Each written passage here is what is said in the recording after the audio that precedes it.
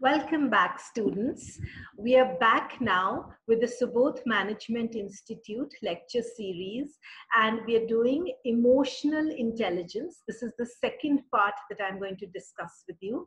The topic is a part of the paper for HR students called Development of Management M436. I'm Professor Dr. Jyotsna Mehta, and I welcome you all for this wonderful discussion on a very important aspect of who we are that is, emotional intelligence.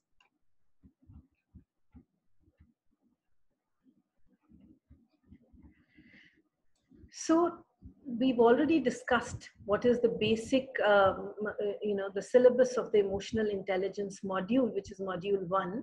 But we are going to be talking today about how it has evolved emotional intelligence and what are the components of emotional intelligence and how we can actually measure emotional intelligence. So when we compare the concept of emotional intelligence with the concept of IQ level or mental ability, then we see that our IQ level is better for our visual processing, for our working memory, and for most importantly, fluid and quantitative reasoning. Whereas EQ levels are very important for identifying our emotions and those of people around us, relating and managing our relationships with others, and for social communication. So the two concepts are clearly different. Now, Peter Salovey and John D. Mayer coined the term, actual term, emotional intelligence only in 1990. And they said that it is a form of social intelligence that involves the ability to monitor your own feelings, your own emotions, and to monitor the emotions of people around you, their feelings and their emotions, and to be able to distinguish between various different kinds of emotions and use this information to guide our own self management as well as relationship management and our social skills. So it's an integral and important part of how we behave personally as people, as well as how we relate to the world around us as per our social skills and our relationship management abilities. Now, one of the very famous names in emotional intelligence studies academically and uh, who has several books to his credit is Daniel Goleman. In the 1990s, Daniel Goleman became aware of this work which was done by Salovey and Mayer, and he started working on this. Eventually, he wrote a book which is perhaps, you know, it's like uh, I, I think what Peter Drucker is to marketing David uh, Daniel Goleman is to emotional intelligence. He was a science writer for the New York Times and he specialized in brain and behavior research. He trained as a psychologist at Harvard University and he also worked with David McClelland. If you would remember, David McClelland is the person who uh, gave you the concept of the achieving society and how the need for achievement, the need for affiliation, the need for competence, and the need for power, these are the needs which uh, you know uh, motivate us to doing whatever it is that we are doing. And McClelland was becoming concerned at that point how traditional tests of cognitive intelligence were failing to tell us how to be successful in our lives. Which means if you have an excellent IQ, a very high IQ, you're brilliant academically, yet there could be a reason that you don't succeed. So, what is that extra factor? And McClelland was increasingly, you know, beginning to believe that we are missing out something. And uh, Daniel Goleman then came up with this concept and said, see, it is the emotional aspect. People who have high emotional sensitivity and are able to relate better to people are people who are actually going to be able to make it big in life and be happy in their lives just to go over what we did in our last edition of emotional intelligence, what are the four main uh, core skills of emotional intelligence? We said we have self awareness to know yourself, your strengths, your weaknesses, why you behave the way you behave. How to use this information to manage yourself. So, recognize uh, your own self and then use that to manage your own behavior, your emotions. Then comes social awareness to understand how other people are behaving, how other people are reacting, to understand why they are behaving the way they're behaving, or emotionally reacting the way they are reacting.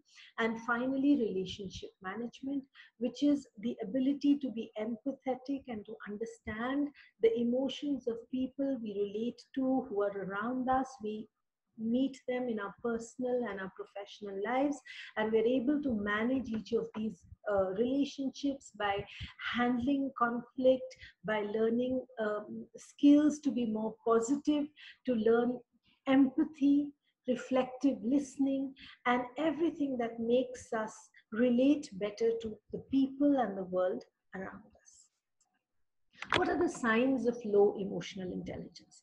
People who are unnecessarily argumentative, you know, majoring on minor issues, just getting into arguments for the sake of that, not listening properly, not really listening, only hearing, blaming others, looking for the cause effect relationship in a tangent where I'm always looking to find the fault in the other and of course emotional outbursts tantrums these could also be a result of anxiety.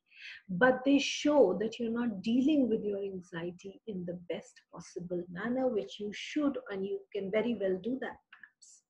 So people with high iq are able to admit and learn from their mistakes. They take criticism positively. They stay cool under pressure. They're able to control their emotions and they can conduct thoughtful discussion. Argument per se is not wrong, but arguing for the sake of arguing is perhaps not required at all. And people with high EQ are going to be listening as much as they're talking. So, active listening, reflective listening, very important for uh, good relationship management. Then, people with low EQ often are people who think, oh, you don't understand what I'm thinking. And I'm not even going to try to explain that to you. They feel that being liked is overrated. I don't want to be liked. And they think people overreact to everything that they say. They blame other people for the problems they are facing. And they don't believe they should be expected to know how their colleagues are feeling. They feel that's you know beneath them or beyond them and so they don't uh, you know sort of uh, take care to understand what the other person is actually undergoing.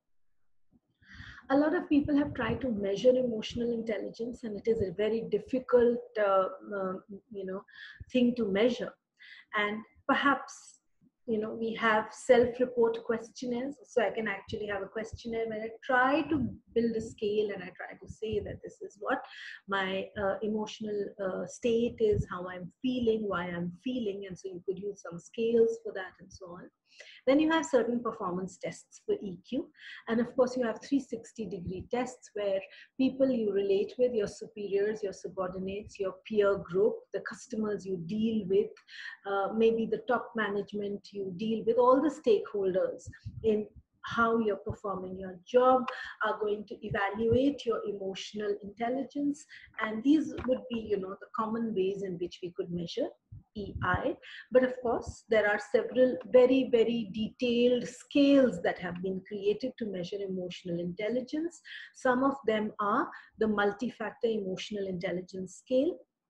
There is the Seligman attributional style questionnaire, the emotional competence inventory, and the Reuven Bar-On's EI. And some of these scales I have mentioned, they are very useful and you of course need to be very familiar with them if you want to be trying to use them. And they all have their advantages and they will all fit into different situations where you will be able to understand which scale which will fit into which situation and it will help you to perceive emotions better, regulate them and of course utilize your understanding to the best possible manner. Thank you so much for listening so patiently to me. And I shall see you with the last and final part of the module on emotional intelligence. Till then, stay positive and stay smiling.